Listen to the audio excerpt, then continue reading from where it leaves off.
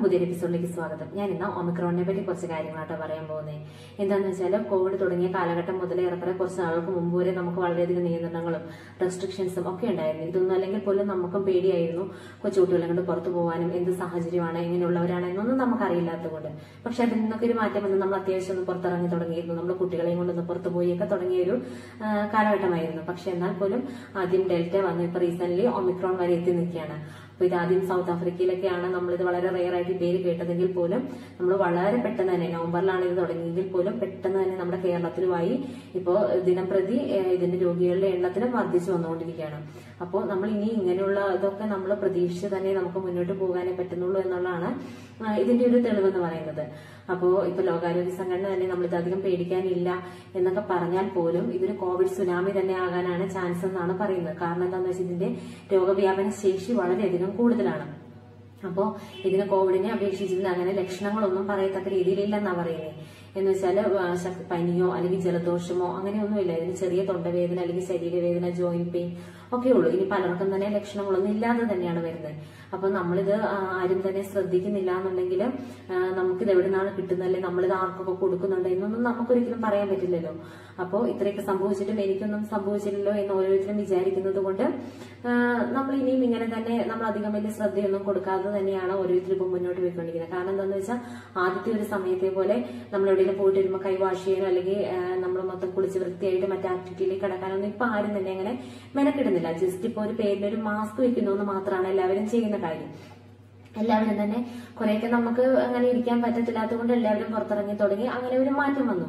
പക്ഷെ എന്നാൽ പോലും നമ്മൾ ശ്രദ്ധിക്കേണ്ടത് നമ്മുടെ വീടുകളിൽ കൊച്ചു കുട്ടികളും അല്ലെങ്കിൽ പ്രഗ്നന്റ് ആയിട്ടുള്ളവർ ഒക്കെ ഉള്ളപ്പോൾ അവർക്കൊക്കെ ഇമ്മ്യൂണിറ്റി ഒക്കെ വളരെ കുറവുള്ളവരാണ്. അപ്പോൾ അവർക്കൊക്കെ പെട്ടെന്ന് തന്നെ ഇത് പിടിക്കാനുള്ള ചാൻസ് ഉണ്ട്. അപ്പോൾ നമുക്ക് സാധാരണയായിട്ടുള്ളവർക്ക് ഇത് പ്രോബ്ലം ഒന്നും ഇല്ലെങ്കിൽ പോലും അവരെ ഇതൊക്കെ പെട്ടെന്ന് ബാധിക്കുമ്പോഴാണ് പ്രോബ്ലംസ് ഉണ്ടാവുന്നത്. ഇനി അത് മാത്രമല്ല എന്തെങ്കിലും മെഡിസിൻ എടുക്കുന്നവര് ഷുഗർ പേഷ്യൻസ് അല്ലെങ്കിൽ പ്രഷർ ആസ്മ അല്ലെങ്കിൽ കിഡ്നി പ്രോബ്ലം അല്ലെങ്കിൽ ക്യാൻസർ പേഷ്യൻസ് അങ്ങനെയുള്ളവർക്കൊക്കെ ഇത് പെട്ടെന്ന് തന്നെ അവരെ ബാധിക്കും. കാരണം എന്താണെന്ന് വെച്ചാൽ ഇത് ലെങ്സിനെയാണ് ആദ്യമേ തന്നെ ബാധിക്കുന്നതെന്നാണ് പറയുന്നത്. അപ്പോൾ നമ്മൾ ഇതൊക്കെ ഒരു സാധാരണ ഇത് ഇങ്ങനെ ഓരോന്ന് വന്നുകൊണ്ടിരിക്കും അന്ന് നമ്മൾ വളരെ ലാഘവത്തോടെ ഇതിനെ കണ്ടാൽ നമുക്ക് നമ്മുടെ ചുറ്റുമുള്ളവരെ എങ്ങനെയുള്ള ആളുകളാണെന്നൊന്നും നമുക്കറിയില്ലല്ലോ. അപ്പോൾ ഓരോരുത്തരും വിചാരിക്കേണ്ടത് നമുക്കിത് വരാതെയും നമ്മൾ കാരണം മറ്റൊരാൾക്ക് ഇത് കിട്ടാതെയുമാണ് നമ്മൾ ശ്രദ്ധിക്കേണ്ടത്.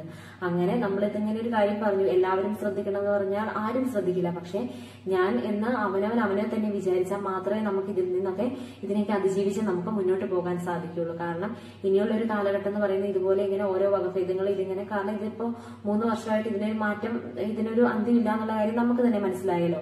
അപ്പൊ ഇങ്ങനെ ഓരോന്നോരോന്ന് വന്നുകൊണ്ടിരിക്കുമ്പോൾ നമ്മൾ തന്നെ അതിനെ അതിജീവിക്കുക. നമ്മൾ ശ്രദ്ധിക്കേണ്ട കാര്യങ്ങൾ നമ്മൾ ശ്രദ്ധിച്ച് തന്നെ മുന്നോട്ട് പോവുക എന്നുള്ളതാണ് ഏറ്റവും പ്രധാനമായിട്ടുള്ളത്. പിന്നെ നമ്മൾ നമ്മൾ അത്യാവശ്യം നല്ല ഹെൽത്തി ആയിട്ടിരിക്കുക. നമ്മൾ നല്ല ഹെൽത്തി ഫുഡുകൾ കഴിക്കുക. ജങ്ക് ഫുഡുകളൊക്കെ കൂടുതൽ ഒഴിവാക്കിയിട്ട് നമ്മൾ ധാരാളം വെള്ളം കുടിക്കുക.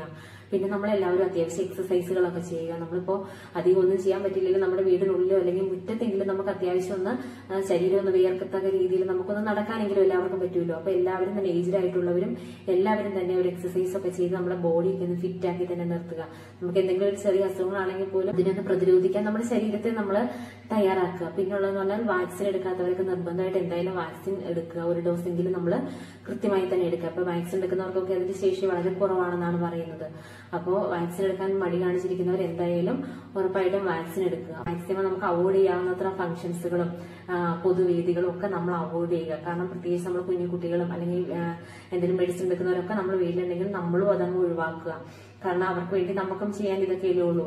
അപ്പൊ അങ്ങനെയുള്ള കാര്യങ്ങളൊക്കെ എല്ലാവരും ശ്രദ്ധിക്കുകയാണെന്നുണ്ടെങ്കിൽ നമുക്ക് ഇതിനെപ്പറ്റി അധികം പേടിക്കാതെ തന്നെ നമുക്ക് മുന്നോട്ട് പോകാം. പക്ഷെ എന്താണ് വരാൻ പോകുന്നതെന്നോ അല്ലെങ്കിൽ ഇത് കഴിഞ്ഞ് കഴിയുമ്പോൾ ഇനി എന്താണെന്നോ ഒന്നും നമുക്ക് പറയാൻ പറ്റില്ല. പക്ഷെ നമ്മൾ ഓരോരുത്തരും ഓരോരുത്തരും ശ്രദ്ധിച്ചാൽ മാത്രമേ നമുക്ക് ഇതിൽ നിന്ന് മാറ്റം ഉണ്ടാവുകയുള്ളൂ. അപ്പൊ ഇങ്ങനെയുള്ള കാര്യങ്ങളൊക്കെ നമ്മൾ ഓരോരുത്തരും തന്നെ ശ്രദ്ധിക്കുകയാണെന്നുണ്ടെങ്കിൽ നമുക്ക് ഇതിനെയൊക്കെ അതിജീവിച്ച് നമുക്ക് മുന്നോട്ട് പോകാൻ സാധിക്കും. അപ്പൊ എല്ലാവരും ഇങ്ങനെയുള്ള കാര്യങ്ങളൊക്കെ ശ്രദ്ധിച്ച് സേഫ് ആയിട്ടിരിക്കുക. Okay thank